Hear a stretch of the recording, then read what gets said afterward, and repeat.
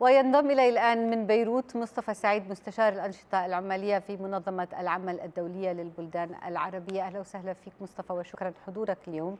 يعني هذه الأرقام إذا نظرنا إليها وشفنا أنه الأرقام عم تتضاعف أو التقديرات عم تتضاعف بحسب تقديرات سابقة. هذا بيخلي كثير في عنا جرس إنذار كبير وملح. قديش عظمة المشكلة فعليا على الأرض؟ واقع الأمر إنه التقرير اجى ليقول إنه هناك تحسن جرى خلال العام الماضي. ولكن كان عندنا توقعات إنه سوق العمل بالعالم أن يتعافى أسرع. تبين إنه لا وأن هناك لا يزال الكثير من التحديات التي تواجه سوق العمل بالعالم واللي يعني يتطلب إجراءات سريعة من قبل الحكومات ومنظمات أصحاب الأعمال والعمال آه، من أجل الإعادة آه، إعادة الاقتصاد العالمي إلى مسار النمو آه، المستدام وإلى تحقيق العمل الضائع. وبالتالي نعم. التقرير عم بيقول إنه الوضع صعب ولكن ليس مستحيلا، هناك خطوات حصلت ولكن طبعا عدم اليقين ناتج عن إنه حتى اللحظة لم يجري احتواء فيروس كورونا ومتحوراته المختلفة. حتى الآن آه، آه، هناك قطاعات كثيرة تأثرت ولا تزال تتأثر بسبب الإغلاقات والإجراءات الناجمة عنه. آه، مضاف لها هو تعمق الاختلالات بسوق العمل اللي هي نعم. سابقة لأزمة الوباء. بالضبط يعني هو المشكلة مش كلها مشكله كورونا يمكن هل تغيرت تغيرت الدنيا تغير نمط معيشة الناس تغير نمط آه، العمل. نعرف كثير منيح طبعا بأنه ال millennials أو Generation Z بيفضلوا آه، ما يرتبطوا بالعمل بساعات عمل معينة بمكان عمل معين وبالتالي صار في توجه أكثر للعمل المؤقت أو ال gig economy مثل ما بيقولوا. هل هذا الشيء إيجابي أم سلبي؟ خليني أقول لك إنه يعني لازم نميز يعني بالتأكيد ال gig economy هو مش مش هو أحد أشكال العمل المؤقت وهو شيء بيختلف عن آه، آه، علاقات العمل المرنة آه، أو العمل عن بعد. اللي حصل مع كورونا إنه سرعت من التحولات باتجاه أنماط عمل جديدة وبالأخص العمل عن بعد والتالي ورك ورقمنه سوق العمل. يعني في قطاعات كثيرة آه، سرعت من تحول آه، آه، عملها إلى عمل يعتمد على التكنولوجيا الحديثة والذكاء الاصطناعي والعمل عن بعد. هذا أدى إلى هذه السرعة بتبني أنماط جديدة بعلاقات العمل. أيضا أدى إلى خلل كبير.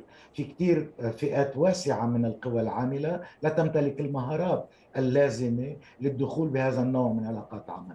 أيضا هناك نقص حتى الآن آه، بمدى قدرت فئات كبيرة من العمال والعاملات آه، من امتلاك مهارات التعامل مع التكنولوجيا وحتى من توفر الإنترنت بشكل دائم وبالسرعة اللازمة وبالتالي في صعوبات ولكن الكورونا اجى سرع من من هذه العملية وهذا أيضا له انعكاسات سلبية مثل ما يعني له انعكاسات إيجابية. ولكن بالتأكيد تراكم القضايا فوق بعضها آه، آه، أدى إلى آه، قصور بالطلب على اليد العاملة كما جاء في التقرير. أيضا أدى إلى خروج كتله كبيره من الناس وخاصة اللي بيشتغلوا بعلاقات عمل بالاقتصاد غير النظامي غير المصرح عنهم. المؤسسات فردية واللي بيشتغلوا على حسابهم اللي تضرروا بشكل واسع. نعم. وأشار تقرير إنه في عندنا فئات كبيرة وبالأخص النساء العاملات اللي ما زلنا يعني يتحملن عبء أساسي برعاية الأسرة. آه، كانوا من أكثر الفئات اللي ضررت لكن آه هذه بالنسبة للمشاكل طبعا والتي آه أيضا تتضمن بأنه فئات الدخل المختلفة بتتأثر بشكل مختلف وما إلى ذلك. الآن هل يتطرق التقرير لأي آه، حلول أي إمكانية آه، أي أي مساعدة؟ هل تقوم كل منطقة أو كل بلد آه، بالتعامل مع أزمتها بشكل منفرد؟ أم هل هناك من خلال المنظمه الدوليه منظمة العمل الدولية توجيهات ومساعدات للدول بشكل عام؟ يعني شكرا على السؤال بالتأكيد التقرير آه، يسلط الضوء على آه، آه، مقترحات المنظمة اللي تقوم على مبادئها على معايير العمل الدوليه لكيفية الخروج من هذه الأزمة. نحن عم نحكي عن منظمة صار عمرها 103 سنوات مع هالسنه وبالتالي مرق العديد من الأزمات على الاقتصاد العالمي اللي تعاملت مع المنظمة.